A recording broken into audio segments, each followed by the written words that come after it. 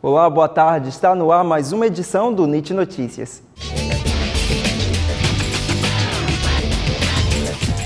Exposição que conta a história da Umbanda foi realizada no mini shopping da Unit Campus Aracaju Farolândia.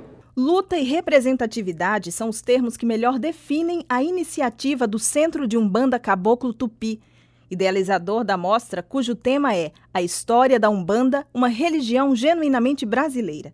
Através de uma exposição itinerante, a missão do centro é a de conscientizar o indivíduo para que a intolerância, ainda evidente no país, dê lugar ao conhecimento e, sobretudo, ao respeito. Essa Umbanda teve esse surgimento aqui no Brasil através do Caboclo das Sete Cruzilhadas, Zé Fernando de Moraes, e essa percussão que traz até hoje foi que nós do, do, do, do grupo é, conseguimos transmitir né, para a sociedade um melhor esclarecimento, porque alguns podem ter dúvida o que é Umbanda, como é Umbanda, por que é Umbanda, né? E a gente fica assustado, assim, Umbanda, nunca ouvi falar. Então nós estamos com esse oitavo encontro de umbandista, transmitindo através do, do, do itinerário, né? Embora seja uma religião brasileira, ainda desperta a curiosidade de muitos, e devido à falta de informação, alguns especulam e até criam mitos sobre o que não conhecem. Esse não é o caso deste estudante, que não hesitou em conhecer mais sobre a história e os preceitos que envolvem a Umbanda. É sobre uma religião que cresceu no Brasil, e mas é vista como é, com certo preconceito. É tanto na parte das outras religiões como na parte da sociedade. E aí seria bom trazer o conceito da, da Umbanda para cá para o cenário acadêmico, que as pessoas já ficariam meio que informadas sobre o assunto, né? tiraria esse preconceito e traria outro conceito para as pessoas. E essa linha do tempo, que conta um pouco da história da Umbanda, iniciou em homenagem aos 110 anos da religião, que aconteceu no dia 15 de novembro do ano passado. A exposição se mantém firme e pretende disseminar conhecimento por todo o estado ainda ao longo deste ano. Cláudio Honor acompanha a exposição desde o início e garante a sua importância para eliminar preconceitos. O interesse maior do, da Umbanda é transmitir o conhecimento né, para que possa quebrar essa, é, essa intolerância né, que está existindo ainda nesse meio da sociedade. Né? É, um, é algo que para a gente, o racismo também é algo para a gente que ainda nos atinge. Você sabe o que é coloração pessoal? Não? Então conheça essa nova tendência que vem chamando a atenção das mulheres.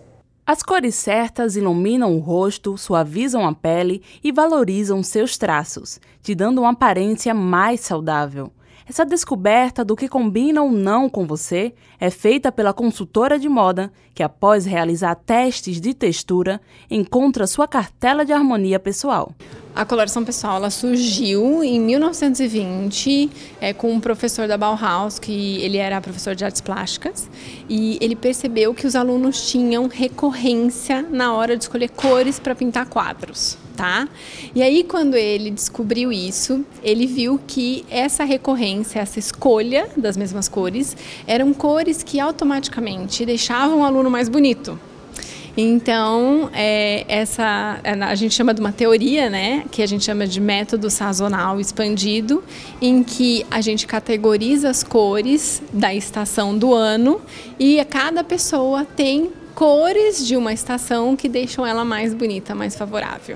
Muitas vezes vamos a uma loja, passamos pela mesma vitrine várias vezes e não decidimos o que realmente comprar.